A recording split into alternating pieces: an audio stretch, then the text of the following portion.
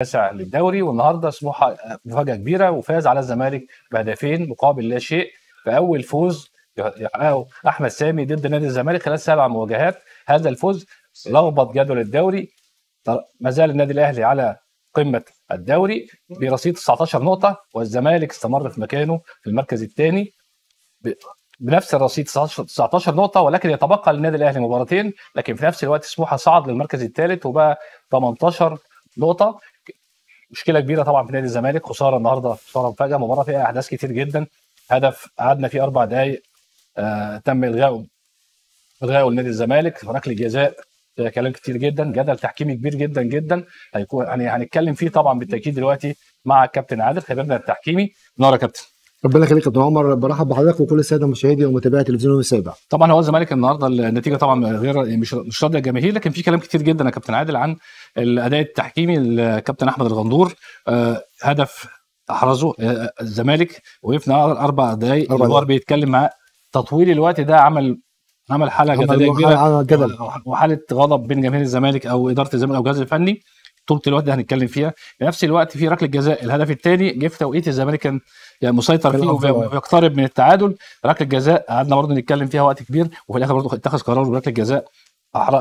احرز الكبير الكبير عبد الوادي عبد الكبير الوادي. عبد الكبير عبد الكبير الوادي. ممكن نتكلم الأول دلوقتي يا كابتن عادل بشكل أساسي.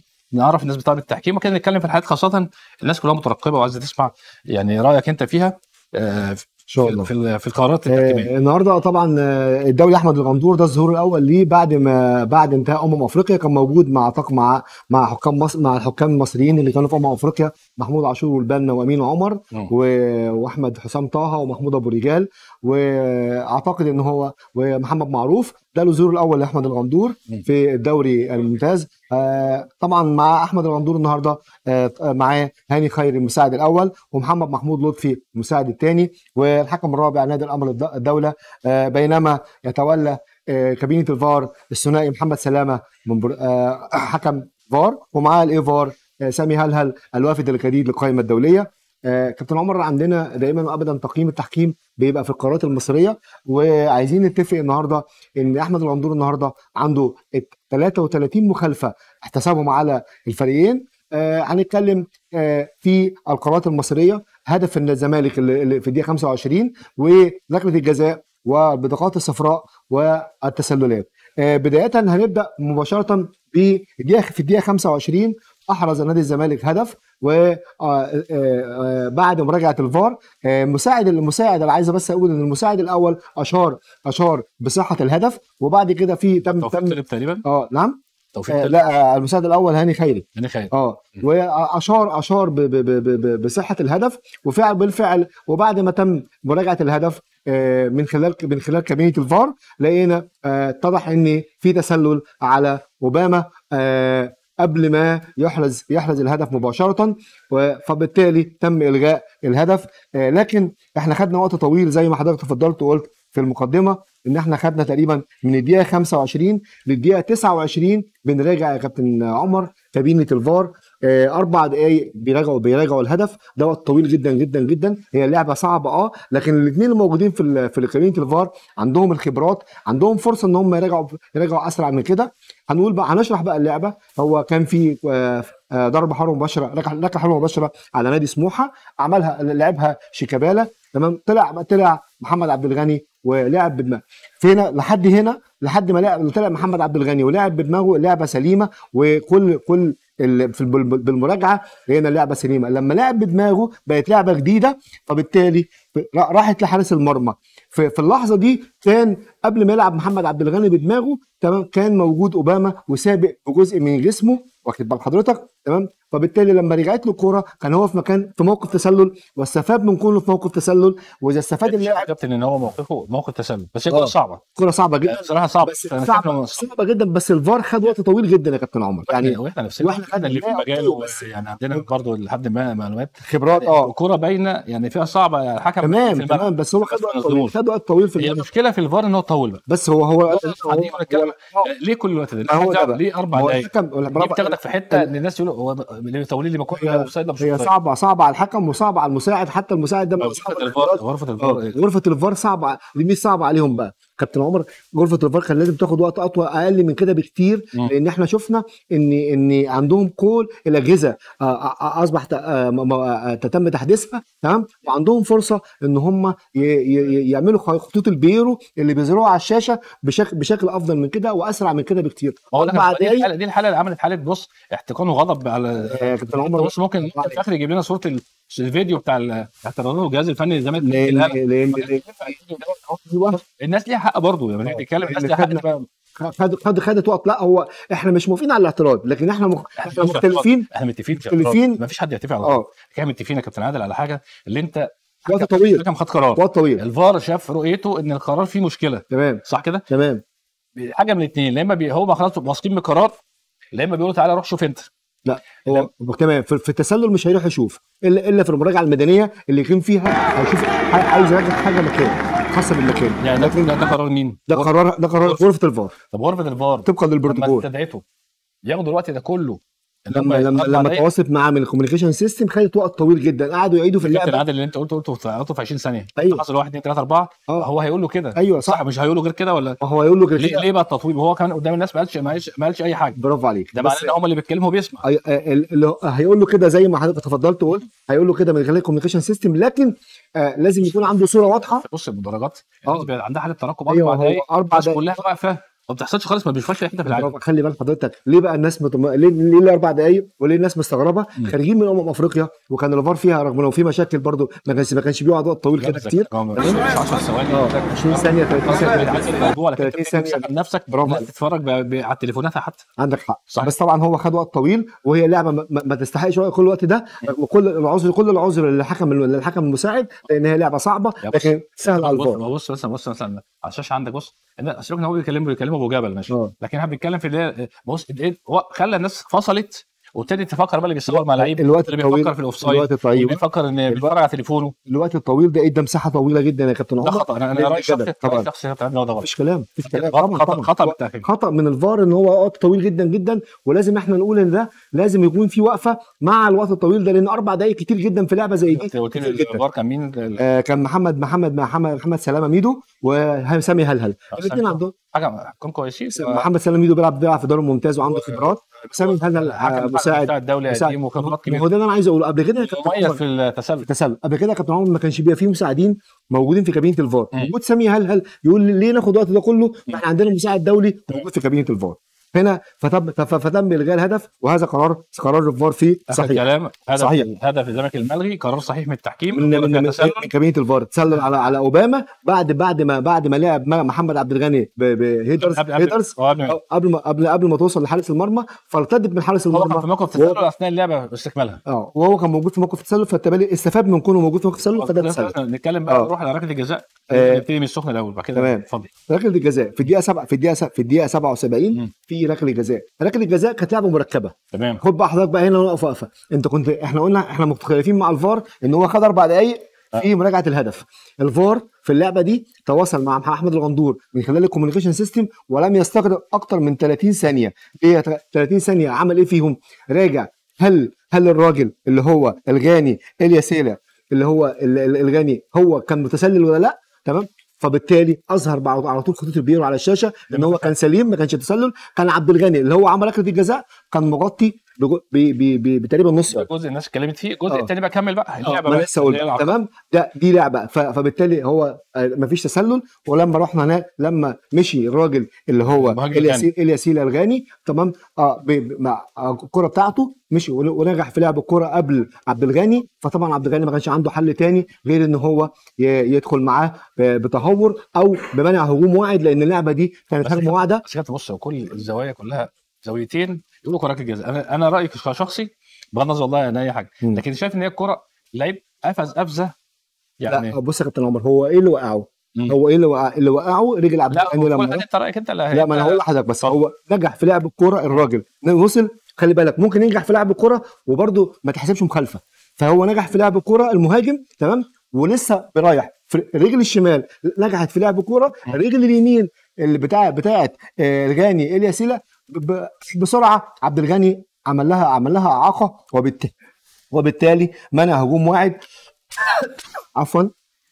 وبالتالي منع هجوم واعد وأشهر أحمد الغندور بالطاقة الصفراء لمحمد عبد الغني في قرار ويعتبر الأفضل في المباراة.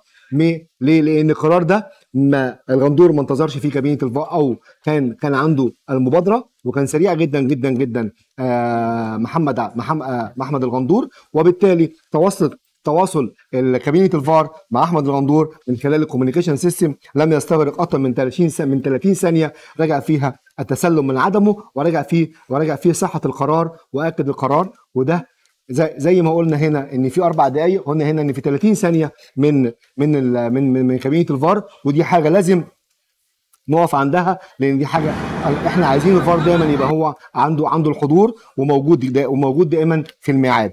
آه كابينة الفار طبعا برضو رجعت مع مع ال ال ال ال ال الحكم طبقا للبروتوكول. الهدف الأول لسموحه آه، اللي اللي اللي اللي, صح اللي أحرزه آه، آه، في الدقيقه في الدقيقة اللي أحرزه آه، آه، كبالة؟ على كبالة. كلابة؟ آه كبالة. كلابة آه، كلابة. كلابة اللي أحرزه. طبعا ليه ليه, ليه كابينة الفار بتراجع؟ لأن ده طبقا للبروتوكول. كابينة الفار عند أحراز هدف لابد إنها تراجع وتتواصل مع الحكم من خلال ال communication system. فرجعت فرجعت فرجعت الايه الفار. عندنا قرار تاني مهم جدا جدا جدا جدا في الدقيقة 80 يا كابتن عمر. أحمد الغندور كان رحيما جدا جدا بمصطفى الخواجة وبإمام عاشور. ليه بقى؟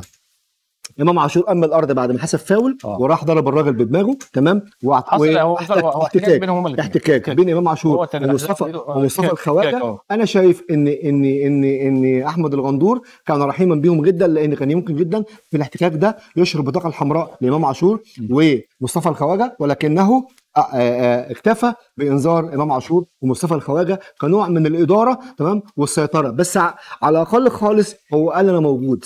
هو أعلن عن وجوده. طبقا للقانون. ودي حاجة لازم نقول له عليها. برافو.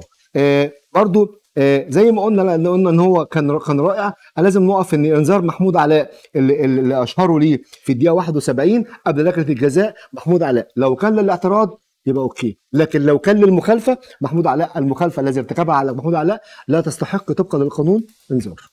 فبالتالي هو اتسرع لأن إحنا عندنا إنذار آه عندنا إنذار لمصطفى الخواجة ومحمد عبد العاطي ومحمد شكري من سموحة وإمام عاشور ومحمد عبد الغني ومحمود علاء وعمر السعيد للاعتراض. أنا شايف النهارده إن أحمد الغندور كان آه يعني آه برضو آه رياح ال ال ال ال الأداء الطيب لحكامنا المصريين في كأس امم افريقيا من الكاميرون الكاميرون. ضمن الطاقم الكاميرون. كان في محمود عاشور آه. والبنا و- آه. ومحمود أبو رجال أبو رجال ومحمد معروف. وامين عمر فطبعا أنا شايف إن هو النهارده أداؤه تمام يعني يرتقي إلى مستوى الجيد أو أو أو. الجيد جدا طبعا عندنا كمان الاثنين مساعدين عندنا أربع حالات تسلل كانوا آه، في في, في توقيتهم في حالة بقى فيهم هو برافو عليه هاني خيري. ما انتظرش يا كابتن ما طبقش البروتوكول لأنها كانت لعبة خلاص ما, ما, كانش ينفع ينتظر يعمل ديلي ليها وينتظر للنهاية. وأشار بدري وده وده صح. في, الوقت اللي هو فيه ثلاث حالات أخرى الاثنين المساعدين كانوا على مستوى. على مستوى المسؤولية وطبقوا الب... ال- البروتوكول. عايزين نقف بقى عند حاجة مهمة جدا يا كابتن عمر. اتفقنا عليها في كأس أمم أفريقية؟ هنا في الاستوديو التحليلي في منبر اليوم السابع مم. تقدير الوقت الضايع يا كابتن عمر لا ما زلت مصر أن تقدير الوقت الضايع. هو جزء من المباراة مم. يا كابتن عمر ده وقت ضايع ده جزء من المباراة أربع دقائق في الشوط الأول لمراجعة لعبه. الكابتن أحمد الغندور لعب أربع دقائق وقت ضايع فقط لا عندنا أربع دقائق وعندنا على الأقل دقيقتين تاني فالشوط الأول كان كان يجب أن يكون ست دقائق وقت ضايع على الأقل لأن عندنا دقيقتين تاني خروج اللاعبين المصابين وأكتر من توقف خلال الشوط الأول. في الشوط الثاني هو لعب برضو أربع دقائق عندنا يا كابتن عمر. آه، مخالفة إمام عاشور ومصطفى الخواجة خدنا فيها دقيقة. عندنا مراجعة الفار من خلال ال communication system في ركله الجزاء خدنا فيها برضو حوالي والتنفيذ خدنا دقيقة ونص. عندنا عندنا الهدفين هو راجع معاهم 30 ثانية خدنا كمان دقيقة في الهدفين بتوع سموحة لأن هم الاثنين جم في الشوط الثاني. فعندنا أربع دقايق ونص وقت بدل ضايع الاستبدالات عندنا يا كابتن عمر في الشوط الثاني ست استبدالات أو أو ثمانيه لو كل واحد خد نص دقيقة ثمان استبدالات لكل أربعة لكل فريق. كان كان- كنا لابد أن يكون الوقت الضايع في نهاية الشوط الثاني لا يقل عن سبع دقائق وقت ضايع. كابتن أحمد الغندور احتسب أربع دقائق وقت ضايع فقط. ودي مشكلة لابد أن الحكام المصريين في الدوري المصري يعلموا جيدا أن الوقت الضايع جزء من المباراة فلابد من حسابه بكل دقة لأن ده حق حق باقي حق ال 90 دقيقة إن الحكم ده دور الحكم و طاقم الحكام كله والمساعدين وكابينه الفار في تقدير الوقت الضايع. دول برضه للناس اللي ما اتفرجتش معانا من الأول. كابتن عادل عقل كنا بنتكلم في حالتين. أول حالة اللي هي آه، أول حاجة هدف هدف الزمالك في الزمالك 25. الملغي. ده 25 كابتن عادل عقل أكد إن هي كل هدف الغاء الهدف صحيح. والفار قراره صحيح. إحنا لكن التعليل نفسه التحفظ على موضوع ان هو أربع دقائق أربع دقائق حديث بين غرفة الفار والحكم أحمد الغندور. واللعبه الثانية مثيرة للجدل هي ثبت الجزاء. لنادي سموحة سموحة حاجة أكدت في اللعبة ووضحت فيها جزئيتين جزئية إن هي الكره مش تسلل تسلل. صحيح ثم بعد كده إن الكره اللاعب الغاني آه. نجح في لعب الكرة لعب قبل محمد عبد الغني فبالتالي. ده راي حضرتك آه وكده قرارات الحكم سليمة سليمة يبقى في المشكلة البسيطة اللي هي اللي هي يعني خطأ من الحكم المساعد في اللعبة الأولى الهدف هدف. ولكن كل التقدير للكابتن هاني خيري صح كده؟ طبعا هاني خيري هو مساعد جيد جدا أعتقد التحكيم كده قراراته سليمه لا جدا لا القرار سليمة في اليوم في اليوم درجات كام؟ أنا لسه بقى قبل قرار. التحكيم كمان يا كابتن عمر عايزين نتفق أنت راجل حكم وعارف تمام أن التحكيم قراراته النهارده لا لم تؤثر مم. على نتيجة المباراة لم تؤثر وده المهم جدا جدا جدا. أنا أنا أنا, أنا قرارات يعني حتى حتى المصرية. ما شفناش تصريح من اضافه الزمالك. آه لم تؤثر على على نتيجة على نتيجة. المباراة. النهارده أحمد الغندور النهارده هياخد 8 ونص. هو والاثنين المساعدين. آه الفار أنا هنزل بالفار بقى من من, من, من 8 8 من 10 آه عايز أدي الحكم الرابع بقى. الفار هياخد أكثر آه لا لا مش متفق الفار لا لا لا ده الراجل اللي أصلا انقذهم من الكوره طب يعني والأربع دقايق والأربع دقايق. الهدف لو اتحسب. والأربع دقايق. مش قصدي. والأر- أنا آه بتكلم على الفار. لا لا لا خلي بالك ما دام في فار ب- ب- كابتن عمر بس ما دام في فار ما ينفعش. الزمالك في ماتش الزمالك وبيترو اتلتيكو في أفريقيا ما كانش في فار وجه هدف من تسلل. يا كابتن عمر ما دام في فار يبقى دي مسؤوليتهم لأنهم عندهم فرصة. ما لما نيجي نقول دي ما هو ما نجح ما هو نجح. بس خد وقت طويل جدا جدا جدا. لكن أنا همشي معاك 8 ونص زي زي بقية الطاقم أقل من- آه. أنا عايز أقف بقى عند نادي الأمر الدولة. اتفضل كده. نادي الأمر الدولة عمل إيه النهارده؟ عمل اللي إحنا كنا بنقوله دايما دايما لكل الحكام النادي ده حكم كويس. أنا شفت على المستوى الشخصي حكم. حكم صفاره كويس. آه. عمل إيه بقى النهارده؟ كل اعتراضات الأجهزة الفنية للزمالك أو لسموحة هو تحملها في المنطقة الفنية ولم يستدعي الحكم ورفع عن الحكم كثير جدا من ده الضغوط. كابتن ده نجاح لحد ذاته أيوة. بنقول إن الحد هو نادر أمر الدولة حكم كويس أيوه. وخ- وخبراته وعرف وطريقته في التعامل قدر تمتص غضب. تمتص خد حق حق الجهاز الفني للزمالك. ذكر الزمالك المفروض الطريق إن هو في الملعب يتخ... ي- يبقى في دماغه من القرارات ضدهم. ضدهم صح. صح كده؟ آه ده لكن بينفعله آه لكن لكن هو شفنا في حالة هدوء. هو هو حتى كمان عليهم. هو حتى كمان حتى كمان آه، آه، لما راح أحمد الغندور واعترضوا هم على رمي التماس ما ما أحمد الغندور ما ما ما اتكلمش ما ما ما وقف لهمش لأن هو كان آه، رايح لهم وقف معاهم يعني بدأ يتعامل معاهم بهدوء وأقول لك حاجة تعامله معاهم بهدوء وإن هو رفع عن الغندور تمام؟ ال- الضغط إن هو يجي ويطرد حد وكده أعتقد نادي الأمر الدولي النهارده برضو قام بدور فعال كحكم رابع سهل مهمه أحمد وهاني خيري وأحمد محمد لطفي في داخل المستطيل الأخضر. آه كابتن عادل في كلام حاجة في التحكيم تاني؟ طبعا في حاجة في خبر مهم جدا في التحكيم النهارده إن هو كان في اتحاد الكورة النهارده. يعني آه كان في قرارات أول اجتماع مجلس إدارة اتحاد الكورة الجديد برئاسه الأستاذ جمال علام خد قرارات نقول عليها قرارات ثورية أبرزها على الإطلاق هو قرار توجيه الشكر للكابتن شوقي غريب المدير الفني للمنتخب الأولمبي وده قرار آه أنا شايف إنه قرار مثير. ممكن هيكون لينا متابعات ليه بعد شوية مع زميلنا محمد مراد متخصص في ملف اتحاد الكورة مع قرارات تانية مهمة جدا وهي استبعاد يعني بعض الشخصيات الكبيرة في لجنة الحكام وعلى رأسها الكابتن وجيه أحمد ده رئيس اللجنة والكابتن آه، عزب حجاج سكرتير اللجنة.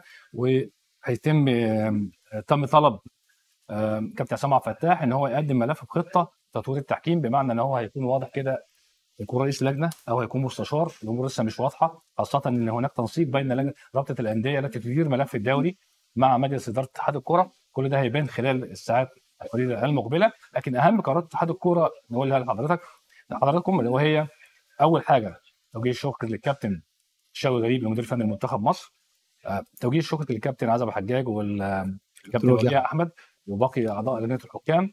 تكليف آه، كابتن حازم إمام وكابتن آه، محمد بركات أعضاء مجلس إدارة اتحاد الكورة بملف آه، المنتخبات وملف الكورة بشكل عام اللي هي مختصة بالناشئين وكل ما هو متعلق بالجزء الفني لاتحاد الكورة. وفي قرارات تانية مستمرين فيها. اتحاد الكورة قعد في جلسة كبيرة جدا أعتقد أكثر من خمس ساعات مستمرين فيها. إحنا برضو متابعين معاكم وهيكون لنا صفيه بعد شوية بخصوص القرارات ديت. لكن النهارده يا كابتن عادل أنت أرجع تاني للزمالك. أنت أنت خلاص أنت متأكد إن هي قرارات تحكيمية؟ عشان الناس برضو اللي هي كانت داخلة اللايف عشان تتفرج على جزئية الحكم. انت اكدت خلاص القرارات واضحة إن الحكم قراراته سليمة. سواء الهدف الهدف الملغي الهدف سليم. سليم تسلل سليم الجزاء الجزاء صحيحه سليمه البطاقات الصفراء كان رحيما جدا جدا جدا مع الخواجة. ومع إمام عاشور انه تغ... انه لم يشعر انه بطاقة التحكيم حمراء وجهة نظر حضرتك إن هو التقرير آه، آه. التحكيم سليم سليم. يبقى إحنا نقول كده بالتأكيد كده قرارات سليمة للتحكيم فوز مستحق لنادي سموحة النهارده من وجهة نظري الشخصية خاصة نادي الزمالك النهارده كان بادئ بتشكيل غريب جدا تشكيل بادئ من أول حراسة المرمى في محمد عواد هو حارس جيد ولكن محمد أبو جبل هو الحارس من أفضل الحكام في أفريقيا آه، أفضل حراس مرمى في أفريقيا حارس لسه جاي من تألق كبير جدا والناس في العالم كله بيقول إزاي ما يكونش في تشكيلة أفريقيا إزاي ما يكونش أحسن حارس في أفريقيا.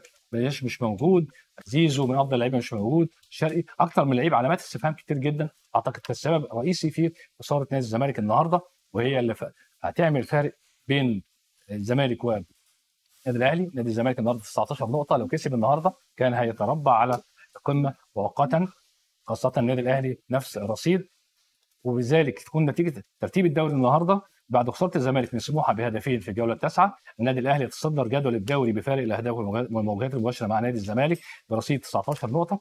يليه نادي الزمالك ب 19 نقطة. سموحة صعد للمركز الثالث ب 18 نقطة وبعده بيراميدز في الرابع المركز الرابع برصيد 17 كابتن عمر آه، وإحنا في حضرة تقييم التح- التحكيم لازم نقول إن الكابتن وجيه أحمد وكابتن عزب حجاج قدموا جهد كبير واللجنة قدمت جهد. كبير وكان ليهم دور فعال عزب حجاج ووجيه أحمد في فتره في الفترة الماضية لكن هو التغيير هو سنه الحياة. وأعتقد إن التحكيم يحتاج لتطوير والتطوير ده آه، أعتقد الفترة اللي جاية لابد إن يكون هناك اختيار لجنة حكام بدقة ومع الاحتفاظ بالوجوه أو, أو, أو الكوادر اللي هي أدت بشكل كبير ادت أدت, بشكل كويس. مجلس الاداره جاي بشكل كويس. آه، ليه رؤية ليه رؤية، وليه، آه. آه، تصورات.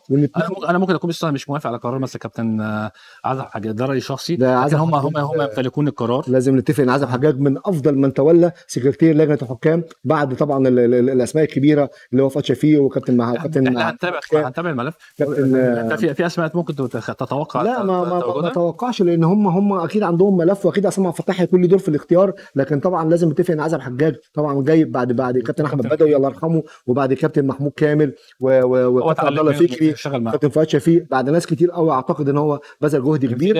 امتداد ليهم. لا بنتمنى إن شاء الله الفترة اللي جاية يكون فعلا في تطوير للتحكيم لأن التحكيم إذا تم تطوير التحكيم وإذا تم إصلاح عنصر التحكيم أعتقد هيبقى عندنا دوري قوي هيبقى عندنا كرة كرة كرة قدم فعلا بشكل بشكل بشكل رائع لأن أساس أساس كرة القدم هو, آه، التحكيم واصلاح التحكيم بإذن الله الفترة اللي جاية تبقى أفضل بكتير لكن لازم نتفق إن لا لا يقلل توجيه الشكر لوجيه أحمد وعزب حجاج لا يقلل من أدائهم لا يقلل لا يقلل من جهودهم في الفترة الماضية. بالتأكيد يا كابتن بالتأكيد. مشاهدي ومتابعي التلفزيون اليوم السابع كنا النهارده في استوديو التحليل لمباراة نادي الزمالك مع سموحة واللي فاز فيها سموحة بهدفين مقابل لا شيء وحافظ نادي الزمالك على مركزه في المركز الثاني ولكن حافظ برضه النادي الأهلي على تصدره للدوري مع وجود مباراتين متاخر عن الزمالك وصعد نادي سموحة للمركز الثالث. مكملين إحنا طبعا في تغطية الدوري وتغطية المباريات. المباراه الجاية الفترة الجاية النادي الأهلي عنده مباراة في أفريقيا نادي الزمالك عنده بكرة هيتوجه لانجولا لمواجهة فريق سنجرادا ثم بعد كده هيطير إلى المغرب. أعتقد هتبقى فرصة كبيرة جدا قدام الجهاز الفني بقيادة بيرتيرون لتصحيح الأوضاع لدراسة الموقف إزاي خاصة إن هو كان عنده لعيبة لعيبة دولية بعدت فترة. أعتقد الأمور بتاعت الزمالك هيبقى فيها كلام كتير الفترة الجاية. أشوفكم على خير بإذن الله في استوديو التحليل تلفزيون يوم السبت